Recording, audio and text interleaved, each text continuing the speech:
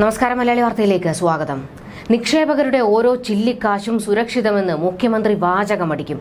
എന്നാൽ ഈ ഉറപ്പ് വെറും പാഴ്വാക്ക് മാത്രമാണ്. കരുവന്നൂർ ബാങ്കിന് സർക്കാർ ഒരു ഉറപ്പും നൽകുന്നില്ല.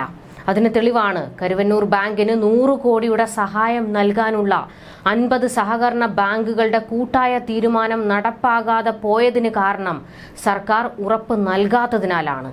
ഇനി നിങ്ങൾ പറയൂ എന്തുറപ്പാണ് സർക്കാർ നിക്ഷേപകർക്ക് നൽകുന്നത്? സർക്കാരിന്റെ വഞ്ചന ഇനിയെങ്കിലും ജനങ്ങൾ തിരിച്ചറിയുക. സഹകരണ ബാങ്കുകളിൽ നിന്ന് നഷ്ടമായ പണത്തിന് ഉറപ്പ് കൊടുക്കാൻ നിന്നാൽ സർക്കാരിന് നട്ടം തിരിയേണ്ടി വരും. കരുവന്നൂരിലെ പ്രശ്നം വഷളാക്കിയത് സർക്കാർ തന്നെയാണ്.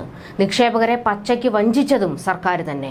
നൂറ് കോടിക്ക് സർക്കാർ ഗ്യാരണ്ടി നൽകണമെന്നായിരുന്നു അൻപത് സഹകരണ ബാങ്കുകളുടെയും ആവശ്യം. ഇതിന് സർക്കാർ തയ്യാറാകാതെ വന്നതോടെ കൺസോർഷ്യം നീക്കം പരാജയപ്പെട്ടു. ഇത് കരുവന്നൂർ ബാങ്ക് പ്രശ്നം കൂടുതൽ വഷളാക്കി. കരുവന്നൂർ മാത്രമല്ല സഹകരണ മേഖലയിലെ ഒരു രൂപ പോലും സുരക്ഷിതമല്ലെന്ന് തെളിയിക്കുന്ന വേറെയും സംഭവങ്ങളുണ്ട്. ആറായിരത്തോളം സാധാരണക്കാരുടെ മുപ്പത്തി അഞ്ച് കോടി നിക്ഷേപമുള്ള പുത്തൂർ സഹകരണ ബാങ്ക് പ്രതിസന്ധിയിലായത് രണ്ടായിരത്തി പതിനാല് ഡിസംബറിലാണ്. ഇപ്പോൾ ഒൻപത് വർഷമാകുമ്പോഴും ഈ ബാങ്കിലെ നിക്ഷേപകരുടെ ചില്ലിക്കാശ് തിരികെ നൽകിയിട്ടില്ല.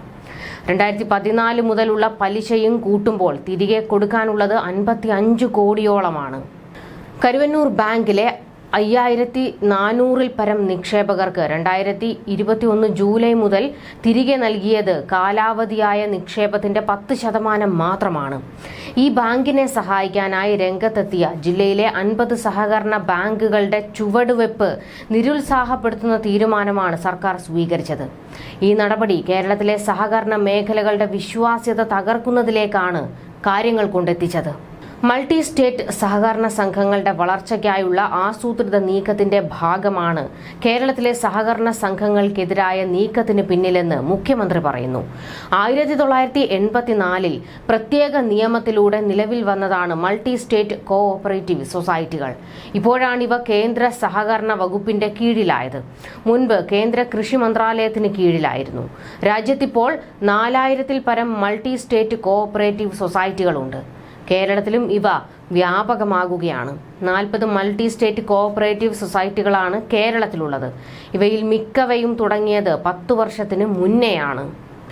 സഹകരണ ബാങ്കുകളുടെ നിലനിൽപ്പ് അവതാളത്തിലാക്കിയത് സി പി എമ്മുകാർ തന്നെയാണ്. ജനങ്ങളുടെ കാശും മുക്കി നേതാക്കന്മാർ സമ്പന്നരായി.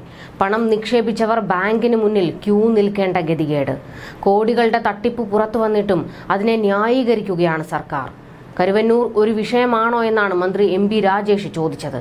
സി പി എമ്മിന് ഒരു വിഷയം അല്ലായിരിക്കും. പക്ഷേ കാശ് നിക്ഷേപിച്ച പാവപ്പെട്ടവന് അതൊരു വലിയ വിഷയമാണ്. എന്നിട്ടും നിങ്ങളുടെ പണത്തിന് സർക്കാർ ഉറപ്പെന്ന മുഖ്യമന്ത്രിയുടെ തള്ള് ജനങ്ങളെ വീണ്ടും വഞ്ചിക്കലാണ്.